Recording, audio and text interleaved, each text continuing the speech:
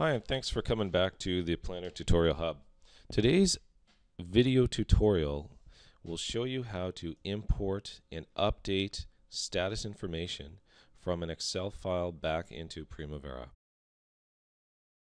Now this is a common scenario and let's check out the project plan that I've got here, the air liquid plant. It's a good 1300 line project plan, which for some people is fairly small. I've got a number of subcontracting companies working on this project. You can see they are identified by this RESP, responsibility activity code. A lot of these companies in this scenario don't have Primavera.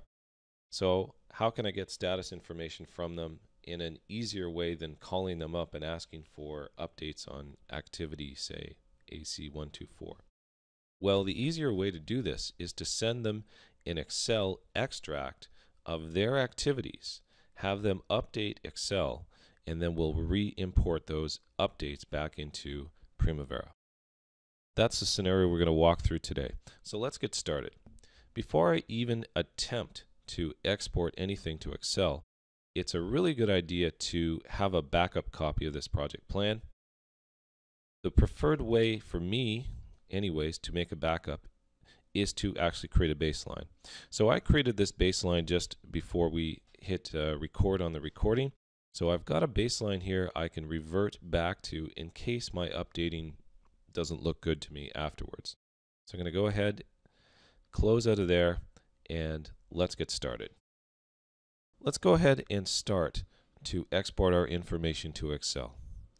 With the project open, we'll go to the File menu and go down to Export. We'll choose Spreadsheet XLS as the export format and go ahead and click Next. For the export type, we'll be exporting the activity sheet. And if you choose to update your resource assignments and units, you could also export the resource assignment sheet. To keep, keep this tutorial shorter in length, I'm going to exclude that part today. So we'll go ahead and click Next. Choose this guy, click Next. Here's where we get to choose what information gets exported to Excel in terms of columns and filters. So I already have a template created here called the Can-Do template. Can-Do is one of my contractors. And let's go and have a look at it. So you can see I've chosen the columns that I'd like to export. Essentially, I've taken the defaults, I've added the actual start and finish dates, the activity percent complete, as well as this RESP activity code. The other thing I've done is I've filtered this acti these activities. The first filter down at the bottom here, the RESP filter, filters only activities related to can do. The next filter then filters out non-summary activity types. So you can see what that filter looks like here. And lastly, I've created a special filter here called 2006 Week 11 Activities Starting or in Progress. And what this filter does essentially is limit the activities to those starting in week 11, which is this week starting March 11th to the 17th, and include any activities that are already in progress. So I'll want to status those that are starting or are already in progress. And lastly, what I've done is on the sort tab is I've sorted my activities by start date. It's going to make it much easier to status that way. So that essentially is my can-do template and I'll click OK to save it. We'll click next. And on this page, we get to identify a file name. So I've already got that file name filled in. And if you don't, you can just click here to define where that file is going to go. We'll go ahead and do our export.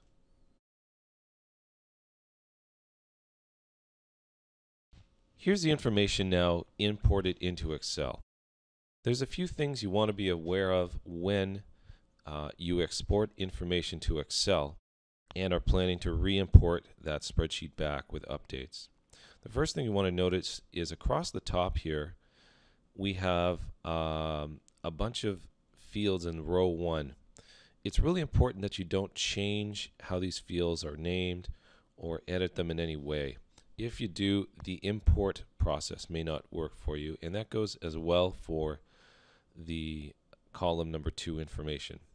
All the other information can be updated, and of course, there's rules around how you update information. For example, um, it wouldn't make a lot of sense for me to just go and change the WBS IDs. So some information is there uh, for informational purposes and can't be updated, and some of it can be updated. For example, this activity status field, it essentially has three values. It either has a value of in progress, or if we scroll down here a little ways,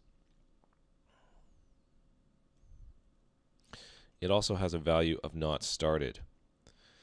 I've filtered out any other activities that would have a value of completed. So you can't arbitrarily just put any information you want in the activity status field. It has to contain those values. The other thing you want to notice is the workbooks that have been created. This workbook that I'm looking at is called Task.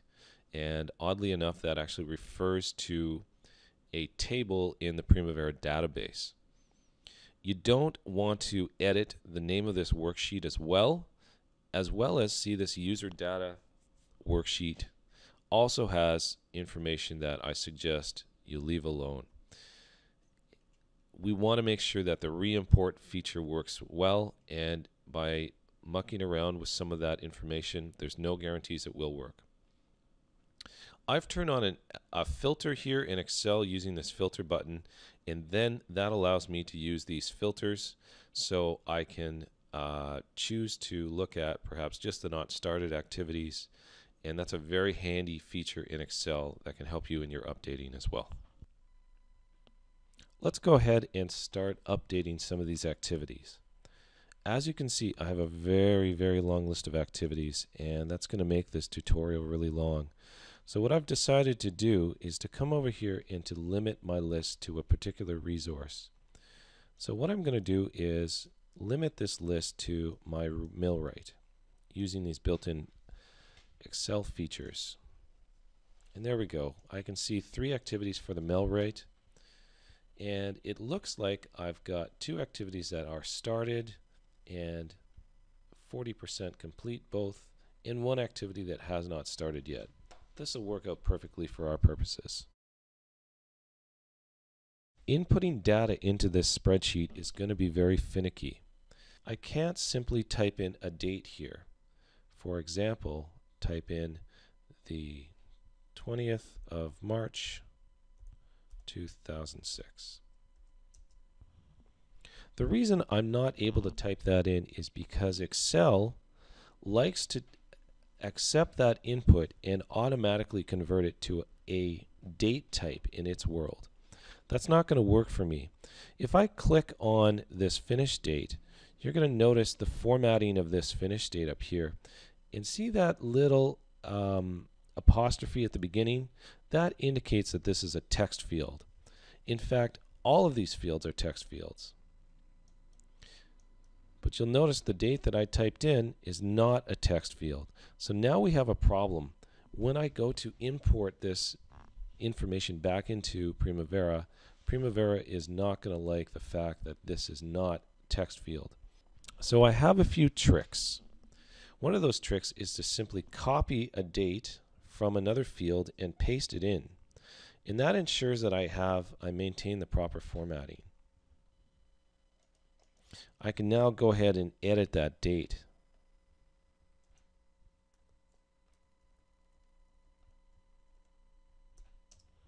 And that makes things relatively easy for me. So copy and paste is a good strategy for you. Now, if I've handed this spreadsheet over to a subcontractor and they haven't been savvy enough to follow the rules that I just explained to you, then we have to resort to some other uh, nifty tips and tricks. Here's another trick. There's a package of utilities available that plug into Microsoft Excel called ASAP Utilities. Go ahead and Google it and see what you find. You can use ASAP Utilities, install it into your Excel, and use the mishmash of uh, Excel utilities basically to help you reformat some of the data. So I'm going to use ASAP Utilities to fix these dates and to convert them back to text. And essentially what I'll do is I'll go to up here to the ASAP Utilities tab, the text, and I'll basically insert the apostrophe before um, converting my text, converting those numbers back to text. And that's a very quick and easy way to convert a whole swath of activities back to text. So go check out ASAP Utilities. Putting some dates in the actual finish column is the extent that I'm going to go to to update this spreadsheet for this tutorial. So I'm going to go ahead and save my data and I'm going to close out of Excel or close this sheet anyways and come on back here to Primavera. When you re-import your data into Primavera, it's important that you already have the project open. So I'll go ahead with the project open, go to the File menu, go ahead and import. We're going to import a spreadsheet. Click Next, select the file to import. There's the file. Go ahead and click Next. Which part uh, from the file, which tables do I want to import? Uh, essentially, these these checkboxes relate to the different worksheets and the data that I had already exported. So I'll just choose the one that's available, the activities. Okay, my import action is to update the existing project. And as a last step, I just need to go here and make sure that I choose the project from this list. Okay, we'll go ahead and click Next and Finish.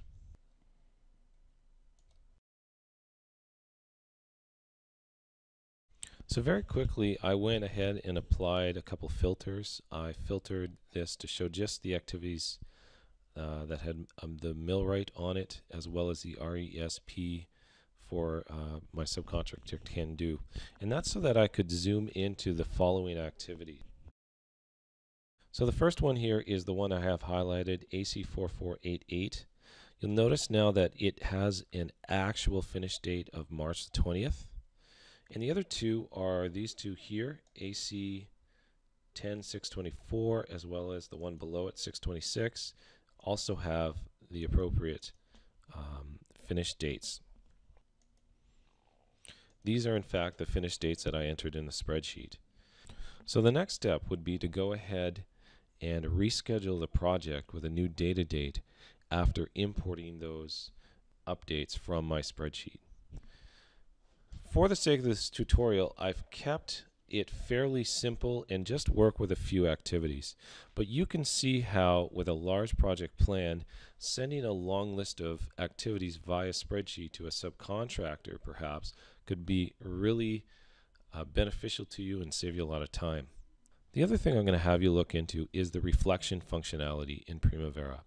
You could use the reflection functionality to review the updates that come back via Excel, import those updates into a reflection project, go ahead and merge that reflection project to review the updates and ensure that everything looks kosher before you go ahead and merge those updates back into your master project plan.